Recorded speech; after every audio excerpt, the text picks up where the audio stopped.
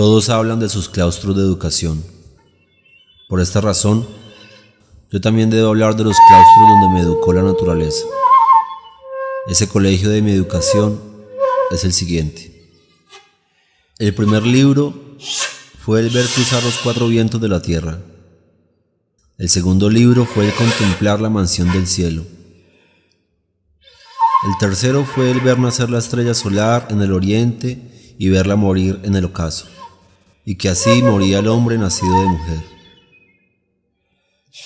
El cuarto fue contemplar la sonrisa de todos los jardines, sembrados y cultivados por esa señorita naturaleza, que viste un traje azul y que se corona ella misma de flores y se perfuma en su tocador interminable. El quinto libro fue el coro interminable de cantos. El sexto libro, ese bello libro de la zoología montés.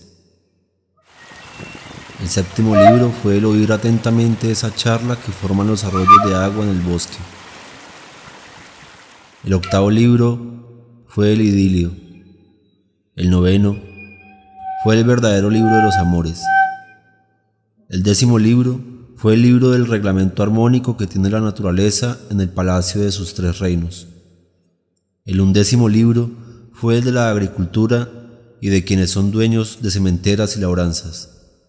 El duodécimo libro fue el libro de la ganadería montés. Yo soy el indígena que fue educado en las selvas por medio de la voz del silencio, allá en la casa del tesoro de los humildes, donde me eduqué para la defensa del indiecito ante las calumnias de mis enemigos blancos. Acerca de nuestro compañero José Manuel Quintín Lame, nuestro querido compañero, el escriba de nuestro municipio, fue para nosotros una persona, hoy es todavía una persona importante, porque todavía reina en nosotros esa esperanza de que vamos a luchar por lo que él tanto luchó, y fue por nuestras comunidades indígenas, a pesar de que no era de aquí de Ortega, él era del Cauca, pero él vino aquí en un... Hace mucho tiempo estaba por acá y estuvo aquí al lado de Mirador. Vivió y después de que se encarnó, pues un poco de, de revolución, un poco de persecución, diría yo, hacia él, entonces él se vino acá, para acá, para Ortega, viviendo aquí al lado de nosotros. Yo creo que que es importante que nosotros destaquemos profundamente el valor de Manuel Quintín, porque él nunca le falló a la gente, él siempre fue constante, dedicado, fue perseverante en la lucha, nunca la dejó, y nunca se vendió, eh, salía de la cárcel y él seguía en la lucha otra vez, él no daba el brazo a torcer. Por eso es que el valor de él está ahí, que él dice que él no fue profeta, pero sí fue apóstol de su raza, porque fue incansable, nunca se dio por vencido y entonces siempre su lucha hasta su muerte fue con la frente en alto. Somos todos hermanos, hijos de, de los indígenas, de los ancestros, y todos tenemos ese, ese amor, esa paz, con él y, nos perseguía mucho por eso, porque nosotros teníamos que llevar la idea que traía Quintín Dame desde cuando se vino de Cali. Eh, en el año 22, según está ahí la, la leyenda. Y entonces él fue nacido de allí, de, de Dolores Chantre eh, y este otro Labriano Lame. Es en la misma hacienda San Isidro, en la misma. Yo conocí la nube del engaño de mis compañeros, hombres no indígenas, allá en el bosque y en las selvas que me vieron nacer el 31 de octubre de 1887. Y esa nube de engaños, con que se quiso destruir la cementera de Quintín Lame, era como una pirámide de hielo que ha venido consumiendo la labranza del cultivador. En esta lucha solo me acompañaba la sombra de mi fe, de mi esperanza y de mi caridad hacia mi raza proscrita y perseguida desde el día 12 de octubre de 1492. Él se dio cuenta de que, que los indígenas pues tenían muchos, por medio de la ley tenían muchos, muchos reconocimientos y que la tierra en que estaban poseídas por muchos terratenientes, que tú eras de, los indígenas, que simplemente se la habían quitado y que debían de recuperarse. Entonces, cuando ya terminó de, pagar el servicio, vino y se organizó y, un poco de, gente, mejor dicho, echó a contarles la historia, lo que, lo que era la, lo que era la, la lucha indígena y entonces muchos lo siguieron y, empezó a trabajar en el Cauca sobre eso, sobre la, cuestión indígena y de ahí después de que ya organizó, ya se pasó aquí para el Tolima y acá pues, también vino a, mover la, cuestión de la, de, la, de la revolución indígena porque pues habíamos o habían muchos indígenas pero tampoco sabían, no tenían mucho conocimiento de los derechos que se habían perdido y que se podían recuperar. Entonces empezaron a, tomarse las tierras. Tomaron primero una finca de, de, en de Faustino Perdomo. Después se pasaron a Tinajas, que allá hay un cabildo grande, Tinajas, que fue el segundo cabildo, la segunda invasión que se hizo. Y, y ahí existe todo ese cabildo. El de Belú, que era de, Faustino Perdomo, pues la falta de de conocimiento y todavía de prácticas, entonces mm, la gente cogió y vendió, vendió los, vendió el territorio, mejor dicho, vendió lo que habían recuperado y se pasaron todos para, para allá, para Tina, para el cabildo del otro lado del río. En la época que él vino, Quintín, eh, la gente de toda ninguno sabía ni escribir, entonces él montó en Llano Grande una escuela para darle, pues, enseñar a los adultos a leer y escribir. Ese fue el primer punto que Quintín dio como empuje. Segundo, Quintín le solicitó al espectador publicidad del 89 1890 en todo Colombia, que los blancos decían que esa era la ley de los burros, que no sea para nada, bueno. Luego eh, empezó a hacer defensas a los indígenas como apoderado en esa época, que nadie le servía a los indígenas. Caso de Guatavita tuvo encarcelado Belisario Tique, encarcelado Ramón, el caso de los Espinalitos también, Gabriel Yaima, de estos Totenas. Eh, esa gente fue encarcelada por decir que eran indígenas nomás. Entonces él, él sí conocía la ley, entonces él los, los sacaba a, los públicos, los daba en libertad. Belisario Tique en 1953 le aplicaron una ley que llamó Ley de la Vagancia los grandes politiqueros lo enviaban para Gorgona. Belisario duró tres meses en la cárcel de Ibagué y a los tres meses le iban a sacar para Gorgona, no se dejaría Gorgona, pero le iban a sacar para Gorgona cuando apareció Quintín. Le hicieron, lo llamaron a Quintín y, le mandó un, mensaje al, al penal con un artículo 281 en el cual los indígenas no son vagabundos, son defensores de su causa indígena. Y los indígenas no conocían. Entonces fue una de las partes que Quintín impulsó primero por ese lado. Luego, las luchas. A capa y espada teníamos que luchar por nuestra propia causa. Es el caso de Guatavita Túa, en 1950, la ley de amnistía Rojas Pinilla empezó a recuperar estos territorios, esto no lo llamamos nosotros, esto era de unos viejos, de un señor Marco Antonio Bonilla, de unos mm, ruenes, un ruenes. Después esto tenido como cinco o seis dueños. Después llegó a manos de Buenaventura Lozano, de Buenaventura Lozano pasó a manos de Abdón Angarita. En manos de Abdón Angarita nos tocó entrar nosotros y expusimos a tres compañeros indígenas que nos asesinaron de recuperación, pero nos tocó hacerlo eh, eso es, en eso hemos tenido muchos, mucha luz buena, porque nuestra propia ley, Quintino la dejó, o no nos la dejó él, nos la aclaró él, que la ley existía, la ley fue hecha por Simón Bolívar, en defensa de nosotros, una ley especial, sino que la tenían escondida, entonces Quintín vino y la dio, la dio a la luz pública. que el, espectador la aclarara. Entonces el espectador la publicó en todo Colombia y empezamos a defender nuestra causa nosotros. Yo siempre miré como una cosa santa y heroica el no acatar la injusticia y la inequidad, aun cuando llevase la firma del más temible juez colombiano. La historia marcará mi nombre delante de los voluminosos cargos que aparecen en los juzgados, las alcaldías y las gobernaciones de los departamentos del Cauca, del Huila, de Caldas y del Tolima. estos señores no, no, nos paran bolas aquí, nos tienen odio y nos perseguían, más que todo a Quintín Yada, ellos, porque decían que era el comandante del ejército de la guerrilla. No, nosotros íbamos, era con los muchachos a defender las, las las, eh, las tierritas de los indígenas y la programación era que los indígenas fueran todos unidos.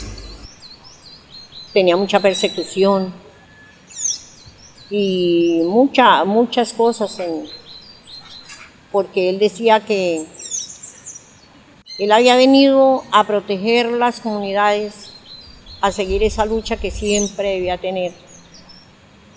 Y quería que nosotros no fuéramos, fuéramos pues excepto de pagar el impuesto predial. Uno también de, los procesos que él hizo fue que los resguardos indígenas no pagaran impuestos al gobierno. Y entre los resguardos se maneja, o sea, tienen territorio propio y fuera de eso tienen unas transferencias propias. Y todo eso se logró gracias a una lucha que desempeñó este líder indígena. Claro que se dice que también pues gran parte de su vida la pasó en la cárcel. Y la gente que lo conoció aquí en el municipio dicen que él vendía en la plaza de mercado él tenía un puesto y que él se agarraba con la gente, con los cobradores de impuestos y que él no pagaba impuestos porque este territorio era de él. Yo he sido encarcelado en el Tolima 108 veces por los hombres no indígenas y en ninguna de esas 108 presiones necesité de abogado o defensor ante los cuatro mil y tantos mentirosos, cohechadores y perjuros de raza blanca y mestiza, unidos con los investigadores, con los jueces y alcaldes, con sus consejos y secretarios. Estuvo preso. En Ortega casualmente le quemaron casa y toda esa vaina por ahí en 1950. Eh, le quemaron las casas de Llano Grande. Porque resulta que se unieron los dos chiros politiqueros, el azul y el rojo. Y dijeron que el indio, Lamy, el indio Lamy era comunista y que estaban montando otro cuento de dos Colombias, que iba a ser otro Colombia y tal que montaron una operación y lo persiguieron y lo, quemaron, le quemaron todo. Quintín fue preso varias veces por eso, porque decían que era un indio que es divisor, que no sé qué bueno. Él se vino del Cauca de huida de un gobernador de, de Abello Castrillón, se vino en 1915, llegó al Tolima y encontró el cabildo de Chiquinima, el cabildo de un señor Eutiquio, Eutiquio no venía Sogamoso. Se vino para Guatavita, todo encontró un cabildo en manos de Belisario Tique y encontró otro en Santa Marta Palmar en vara de Otico Timoteo, en los gobernadores. Y ahí se refugió Quintín porque resulta que ese gobernador le dictó una orden de captura por divisionista. Fueron 108 metidas a la cárcel, 108 metidas a la cárcel y 8.000 expedientes. Eso fue muy, muy grande. Entonces a todo momento los mandaban a presar, a llevarlo y meterlo. Cuando eh, este Eduardo, Eduardo era este, ay, lo amarró a la cola de un, un macho. Lo amarró y lo llevaron en rata. Y allá, este, ¿cómo es que llama? María Méndez. Después de que estaba ya encerrado en la cárcel, amarrado allá, él lo cogió a puño un personaje muy estratégico.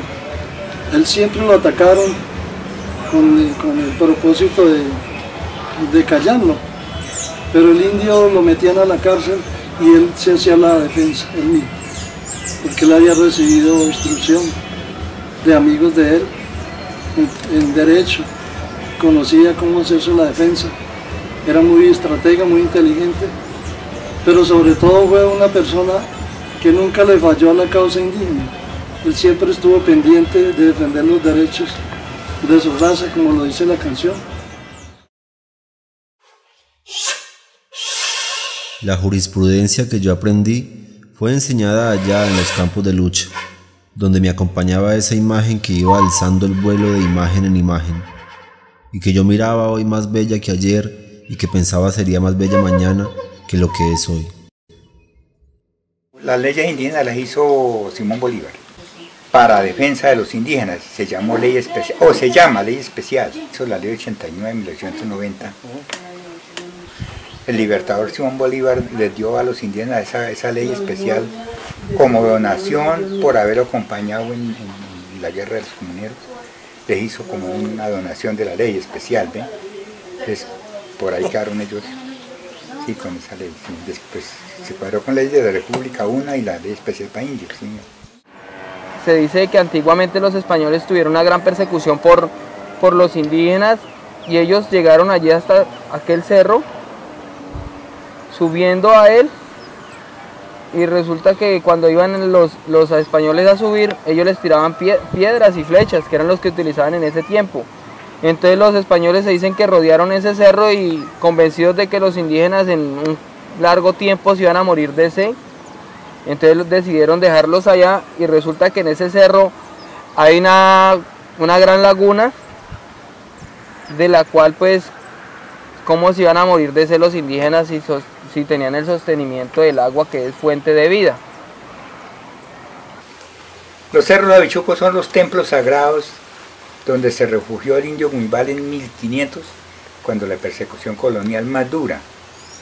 La cordillera de Calarma, la cuna donde Calarcá se batía desde Ibagué hasta Gaitania, por lo tanto quedó Calarma la cordillera porque donde Calarcá habitó de huida de toda la persecución colonial.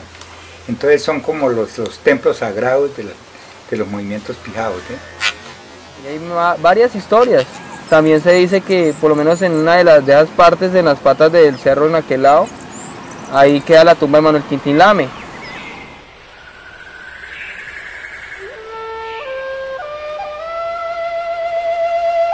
Aquí duerme el cacique indio Manuel Quintín Lame Chantré, que no se dejó humillar de ninguna de las autoridades departamentales, ordinarias, municipales, ni de los ricos, acaparadores, archimillonarios, oligarcas, aristócratas, que le ofrecieron pagarle sumas de dinero para que abandonara el pleito del resguardo nacional de la tribu de indígenas de Ortega.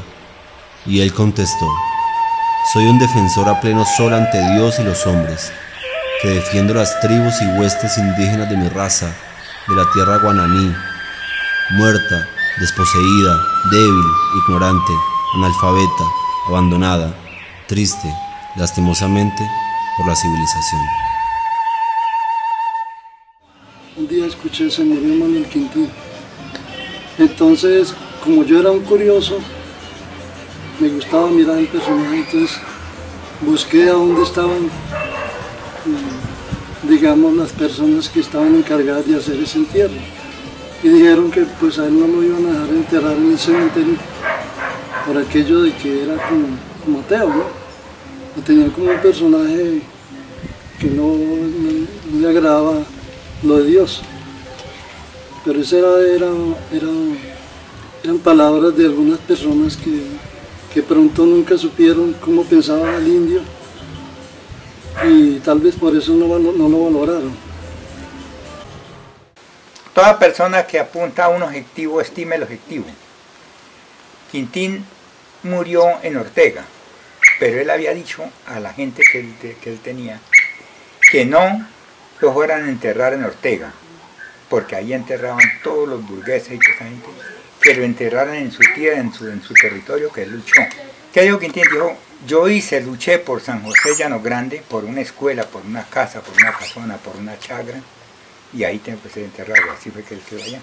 Nunca se dio por vencido y entonces siempre su lucha hasta su muerte fue con la frente en alto, por la defensa de los derechos de las comunidades indígenas del Tolima, del Cauca y de Colombia, porque es un ejemplo ahorita a nivel nacional y a nivel internacional de su liderazgo fuerte, eh, indescansable, era una persona que estaba en la lucha siempre con el propósito de beneficiar a, los indígenas, y últimamente los pijados, porque aquí fue donde él hizo su última lucha, donde hizo presencia últimamente y dejó esa buena huella de ser un hombre incansable, un hombre luchador, un hombre comprometido con la causa indígena. Y ahí tenemos hoy día eh, las secuelas, que son buenas porque ahí están los gobernadores de los resguardos y de los cabildos indígenas que dan testimonio de eso, por ese legado que, que él les dejó.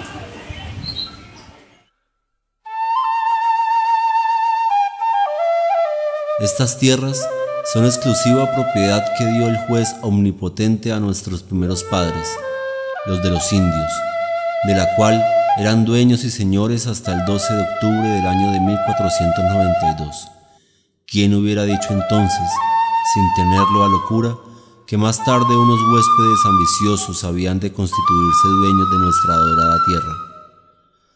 A esto se les apoya el mal y a nosotros se nos niega la justicia, como ha pasado en que ninguna de las sociedades llamadas por la ley para elaborar justicia vuelva una mirada de amparo para consolar nuestros sufrimientos, por graves y gravísimos que sean los crímenes que contra nosotros cometen los usurpadores, que en compañía de aquellos disfrutan del resultado de sus crímenes. Y la sagrada doctrina de la ley para esto no es más que una letra muerta y sin valor alguno.